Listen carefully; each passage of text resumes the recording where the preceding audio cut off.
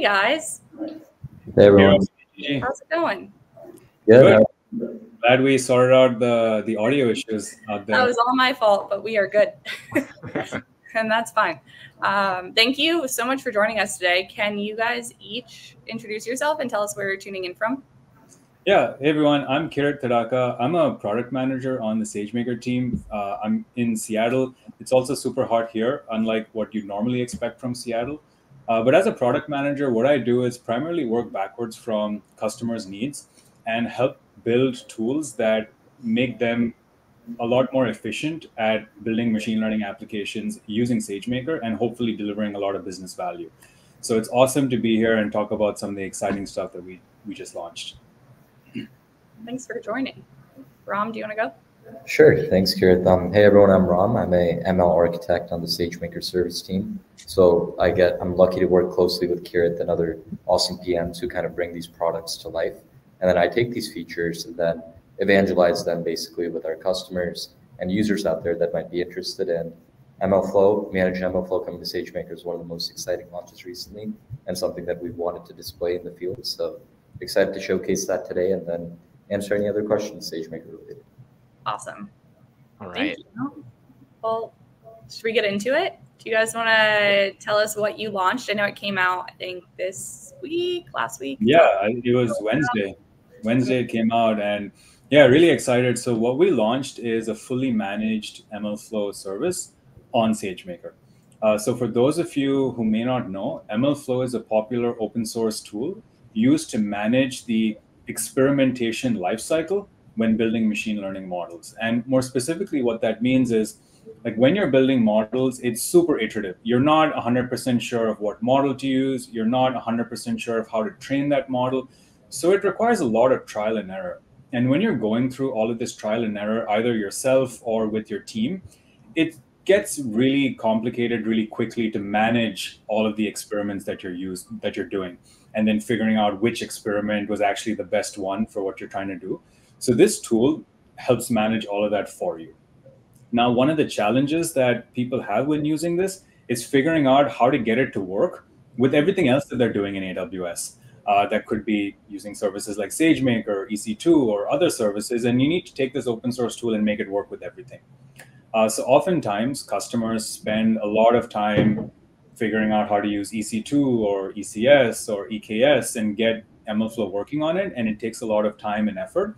Mm-hmm. So what we've said is, hey, we just want you to focus on the actual machine learning and let us take care of all of the setup and the infrastructure for you. Mm-hmm. So we've created a really easy way for people to use MLflow and have it really nicely integrated with everything else that they're doing uh, in SageMaker when building machine learning models. So maybe if, we, maybe if we break down the problem statement further, like let, let's let's take maybe a customer example. Maybe I'm a financial services customer and I'm building a complicated uh, credit model or risk model, some sort of fraud detection. Um, I've got all this data. I'm already using Amazon SageMaker for training jobs and hyperparameter tuning and inferencing, and I'm managing each of these uh, bespoke components on their own. H how does MLflow uh, or managed MLflow for uh, Amazon SageMaker bring this all together? Yeah, great question. Um, so let's say that you're you know you're part of this company and you're a data scientist working with the team and you're now tasked with coming up with this uh, specific credit model. So the first thing that you do is pick an algorithm and then you train that algorithm using sagemaker training. And then when you train the algorithm there are some results that you'd see. It could be the accuracy of the model. It could be the loss of the model. It could be a variety of other metrics. Now you're not necessarily sure whether it's enough to meet your business need, you actually have to test it. You have to train, you have to you know run the model on real data, get some data back, and then you know determine whether the model that you built was sufficient for your needs. Now imagine you're doing this and you don't like the results that you got. So now you need to do it again. And when you do it again, you probably tweak some parameters, right? Maybe change the learning rate, maybe even change the algorithm type. You do it again now, at the same time, let's say you and I are on a team and I'm doing the same thing with a different algorithm. Now, how do we manage and compare and collaborate with each other so that we finally end up with the best model? So all of the SageMaker training jobs that we're all running, we can keep track of it all in MLflow. we can all log into MLflow, look at charts and nice visualizations to compare the different performance metrics across each of our training job. Finally, pick one and then say, hey, I think this model is worthy of going to production. So I'm going to register it in a model registry. Now, once it's registered in that model registry in SageMaker, I can really simply go and deploy that model to an endpoint and actually start testing inference on that model. And then if I'm happy with that inference, I can then take it and deploy it to production using SageMaker, integrating it with CI CD pipelines and monitoring that model in production, and then have the entire lifecycle starting from my idea, which was, hey, I want to build a credit model, to actually having that model working in production and serving my end users as, as that company. Got it. Got it. Well, that sounds like we need to see it to believe yeah. it. And I think it might be time to go into a little bit of a live demo. I've already proved that we only do live here because I I was glitching the whole first five minutes. So it's your turn to prove that it's live Ram and not glitch, but show us how great your your walkthrough is. It does look like awesome. It's up. We are good. Ram, do you want to walk us through? And you know, we're just going to pester you with questions if you don't mind. Of course. Keep it super informal. Informal. Feel free to interrupt me at any time. I know there's a lot of questions um, that might pop up as we walk through this process. But once we get here, right, where we want to land at, and the crux of where we'll start this problem is the SageMaker console itself. SageMaker, as Kirit alluded to, is a bit of a managed ML offering across different parts of the ML lifecycle there's not really only one part to machine learning. There's data preparation, there's training, there's MLOps, as Kirit alluded to, and then inference. And SageMaker kind of encapsulates all of that into one service. For today, what we'll focus on is the MLOps sides of things. So that's really operationalizing your machine learning workloads into production. And for that, MLflow is a very handy tool that we've made managed for this. So where you can get started or where you can work with this tool is if you go to the UI here, you'll see there's Studio, which is the SageMaker IDE for machine learning development. And you can think of this as you can bring your normal Jupyter Labs, Python scripts, any kind of data science related workloads, you can bring into this environment and execute. And there's also access, right, to all the different SageMaker features um, that are part of our MLOps portfolio as well. So I've pre-created a domain here and a user. This is essentially your working environment. You can create your own setup here within the admin configurations. But if we go into the studio page, you'll be getting taken to this UI right here for SageMaker Studio. And as I was alluding to, there's a number of different features here that are both SageMaker and non-SageMaker related, where you can work with the MLOps toolings and features, and then also different development environments that you can get started in. Oh, awesome. For our purpose, right, there will be two main applications that we'll take a look at today. Um, one is Jupyter Lab. This is what many data scientists are normally familiar with. This is where you can execute kind of your scikit-learn, PyTorch. Nowadays, it's all LLMs, that type of code um, locally with the compute environment that SageMaker provides. And then the next part for us is, is the managed MLflow offering here. And with MLflow, right, at its crux, there is a tracking server. And what this tracking server essentially is, is all these different experiments and kind of training jobs and runs that you have. What MLflow will provide by this tracking server is kind of that metadata and storage for you, along with the UI to kind of track and compare these different runs. And what SageMaker has done on this managed offering is made it a little simple where you can click create right here. You'll see I have some existing servers here just for the purpose of time. But if you click the create button right here, you can say tracking server demo, and then you can pick an S3 path of yours that you want to essentially enter. And with this come the different tracking server sizes, as Kirit was alluding to, depending on your use case and what you might be dealing with. But once this tracking server is created, you basically have the bare bones or kind of the plumbing for you to start get started with your ML experimentation itself. Wow. Because before this, when I, I, I recreated these steps earlier today, it was like you said, um, half, half a minute, two clicks, and you've created your tracking service. Prior to this, I saw there was a tutorial. You can containerize MLflow, run it in Fargate, put a load balancer, and now you've got the service. And now we're once again abstracting away that undifferentiated heavy lifting for managing the infrastructure so you can focus on your ML lifecycle. Exactly. As a data scientist, I came from a data science background. I was not an ML engineer. I did not want to think about containers and I did not want to think about the runtime environment or things of that sort because that was taking away from my core work, which is I have my model. I want to train it. I want to see which model is the most performant in my run. So what we do here is we really want to take out that hardware and container level layer for you as you might have had to do so traditionally. And you can simply create the server and then get right to work in terms of your data science scripts and stuff. Got it.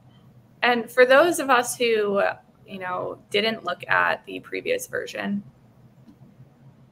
think I glitched. For those of us that didn't look at the previous version, what what are we building on the back end that makes this managed? And does the customer have, you know, if I open my AWS account, can I see those still and they're running, but I just don't have to take care of them? Or are you guys totally taking care of everything? I can't even see it. It just exists as a single line on my bill that we're using these tracking yeah. We uh, we fully take care of that for you. Um, so on your bill, you see one line MLflow. You don't have to worry about all of the things that went in the backend to make that possible.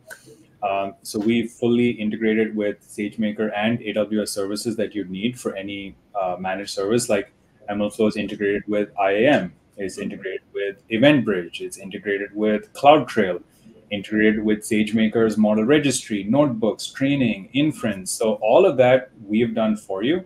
So from your standpoint, it's one API make a call, create your server, you're ready.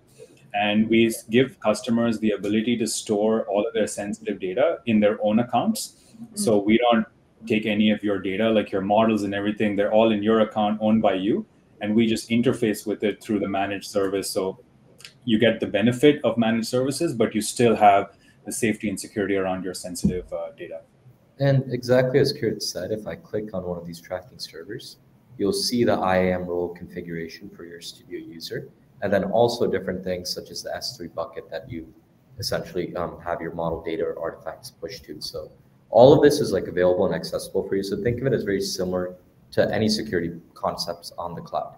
We make that very easy to set up via this create button essentially where you can control where you have your data access. You can control which buckets have what type of models, and then you can essentially go from there in terms of all this. So now I've got to ask the obvious question. We have this tracking server, managed infrastructure, part of MLflow. Mm-hmm. Why do you need a tracking server? What does it do? I'm glad you asked. Completely fair question, right? So um, this tracking server, right? At the end of the day, we need a place to catalog our experiments. And what we do with this tracking server is we give a central, you can almost think of a repository of sorts where you have your different runs. MLflow, a common term that you'll hear is a run which is your different kind of training jobs or iterations that you might have. And then there's also a model registry that will be present within this tracking server. And that's where you can catalog your models. So the different models that you've trained, you might have one that you want for your development environment, then one for a production environment. So this tracking server is a central kind of metadata source that you can almost think of. Um, and the UI, which I'll reflect, will probably bring, which I'll bring up after, is probably going to give a better eyes to everything I'm saying. But think of it as a central store for all your different experiments and model registry. And that's why you have different sizes too, depending on the experiment scale that you have that you'll select on. Got it. That was necessary and enlightening. So I appreciate that. yeah.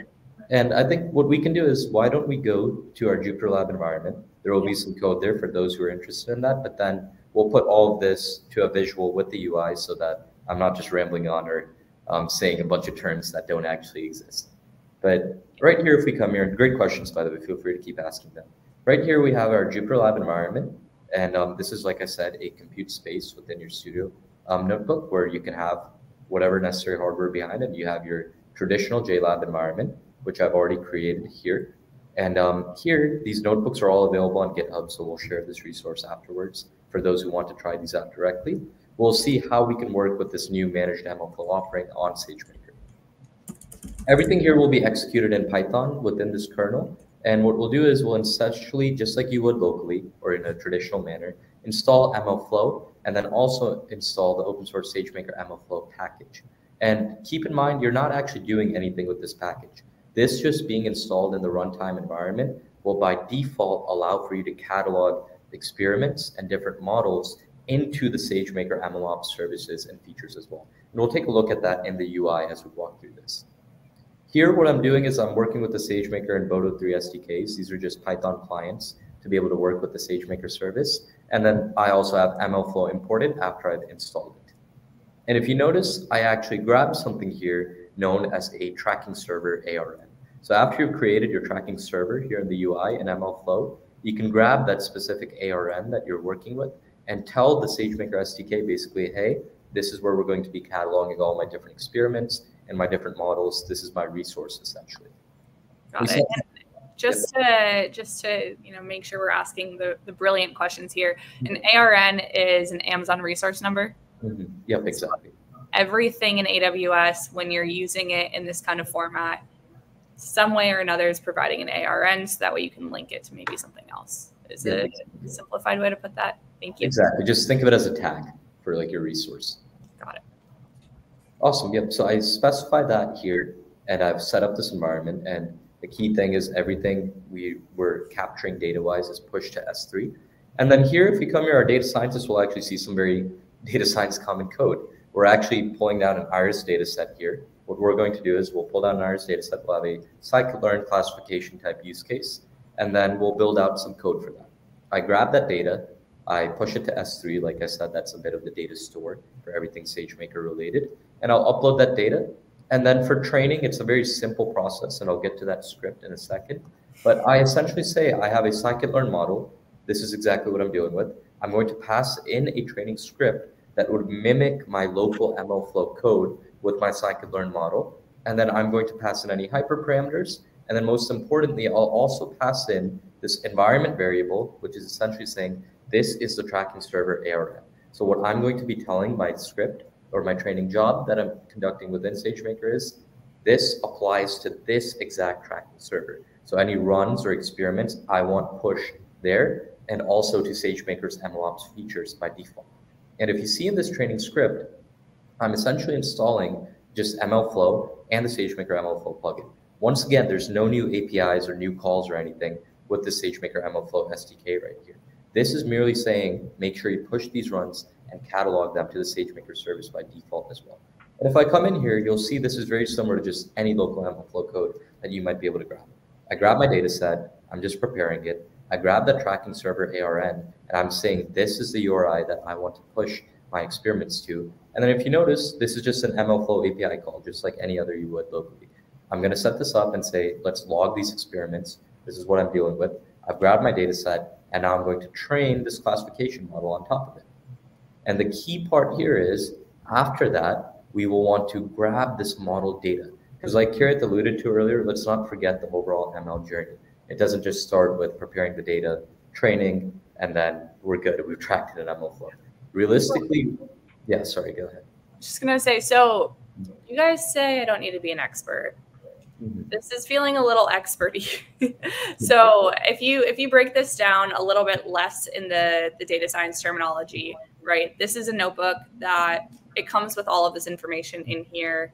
Everything's annotated and tagged in different ways. So if someone in our audience, you know, was trying to give this a go, mm-hmm. they could use this as, you know, a first step, or is this a, a second or third step into the mm-hmm. learning process? So the steps that you want is the tracking server ARN, which is like I said, you just need an S3 path for where you dump your data and okay. then your, the name of your tracking server. Once you have that, like I said, the idea is um, you, you can run this notebook exactly end to end. The only thing you're going to have to change is your tracking server ARN right here. So I could literally change this to enter tracking server ARN, and I think that's what it says in our GitHub that I was running this beforehand. But um, okay. you can enter ARN here. And for the more advanced users, if you have a model that you directly want to plug in, just plug your code in there. If not, and you're new to this, just run this end to end, and you'll understand how the flow works essentially.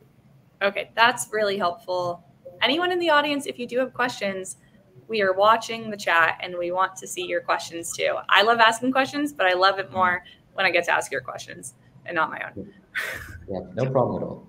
And just on that point, like I was saying, all we're doing here is after we've cataloged our run, which is essentially our training job, we also just want to grab our model artifacts. And to simplify this, just think of model artifacts as your model data. After you've trained or fine-tuned a model, you need a way to capture that model's metadata, right? So what we do is we gap, capture that model data, which for scikit-learn is a joblib, but for more advanced users in PyTorch, it might be a .pth in our LLM worlds, it might be safe tensors, anything you're doing. So this can be any type of model. It can be an LLM, it can be a traditional ML model. All we're doing is grabbing that model data And we're going to say, we want to register this within MLflow underneath this name right here, um, which is SageMaker job experiment model. And after this training job kicks off and runs, right, this is just a SageMaker training job that will execute. That training script gets executed. And we can access this in two different contact points by default, just by that installation with the SageMaker MLflow package. We can access it first in the Studio MLOps features and then the MLflow UI.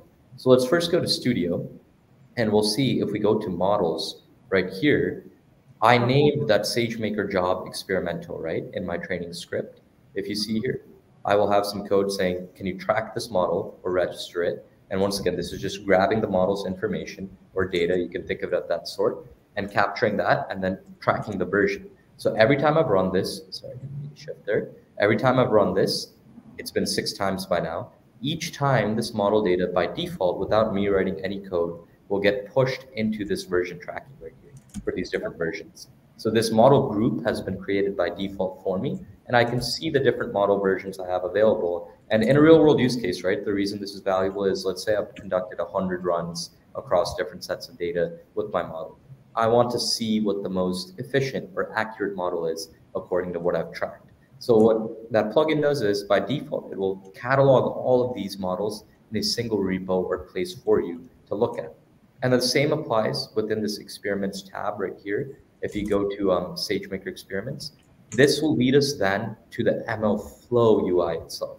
So right now we're looking at the different SageMaker MLOps features that we automatically account for. But if you're a traditional MLflow user and you want to just stick to that UI, you can also go to experiments, hit this default tab, or also hit this MLflow tab, and you'll see a UI has automatically been created for you. And this is a different tracking server than before. Sorry, I think there was a question. Got it. I mean, I we only have about two minutes left, so I do want to make sure you're hitting everything that you want to show. Uh, Yeah. When you, I do have a question also though. When you show all the versions and how many time you how many times you've run them, where where does the comparison value come in in the UI? Is there, you know, if you were to run different models, is it showing some sort of quantitative way to see? Yeah, so exactly right here, this is the MLflow UI. So just to kind of capture the other part of it, if we click and open that MLflow UI from the tracking server, we'll Mhm. see these scores are automatically captured for us. So this is just one run, but let's say that you have seven or eight different runs, right?